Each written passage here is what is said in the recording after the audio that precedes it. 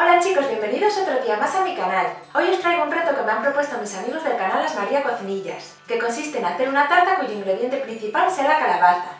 Así que no os vayáis que empezamos ya con la receta.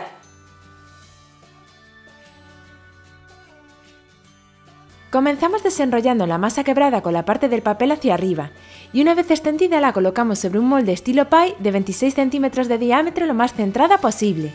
Quitamos el papel con cuidado y ajustamos la masa al interior del molde. Apretamos ligeramente con los dedos de manera que quede bien pegada al fondo y a los laterales.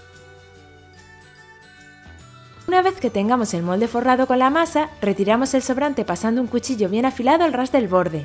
Antes de echar el relleno, tenemos que prehornear la base.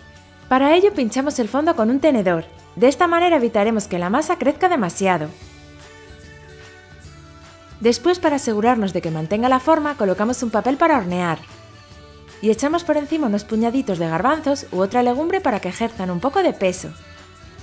Los esparcimos bien por toda la superficie para que no queden amontonados y la base se cocine uniformemente. Llevamos el molde al horno que tenemos que tener precalentado a 180 grados con calor arriba y abajo. Lo colocamos a media altura y horneamos aproximadamente durante 20 minutos, lo justo para que se dore ligeramente y adquiera una textura crujiente. Pasado este tiempo la sacamos y dejamos que enfríe sin quitar los garbanzos para que no se encoja. Mientras tanto vamos a pasar a preparar el relleno. Para ello metemos la calabaza troceada dentro de un bol de cristal resistente al calor. Tapamos con fil de plástico y la cocinamos 12 minutos en el microondas a máxima potencia. Pasado este tiempo lo sacamos y quitamos el plástico con cuidado de no quemarnos con el vapor caliente que desprende. Ahora la chafamos con un tenedor hasta que la tengamos completamente triturada. Si veis que aún está algo dura, podéis meterla un par de minutos más al microondas.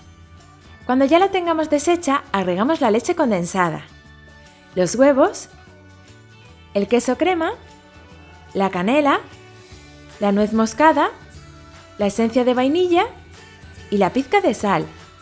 Pasamos todo por la batidora hasta que no quede ningún trozo de calabaza y consigamos una mezcla líquida y homogénea.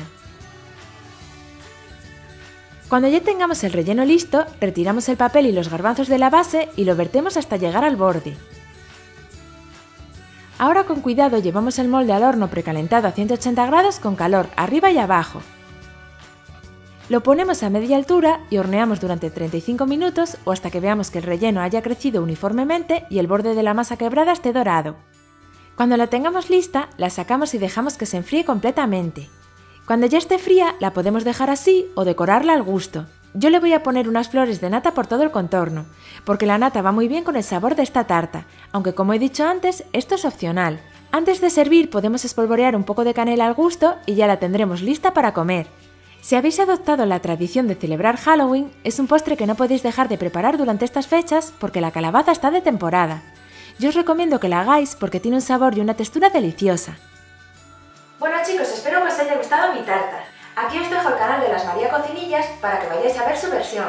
Y también os animo a que os suscribáis porque tienen recetas fabulosas. En la cajita de información os dejo sus redes sociales para que también os sigáis por ahí. Nos vemos en la siguiente receta. ¡Hasta la próxima!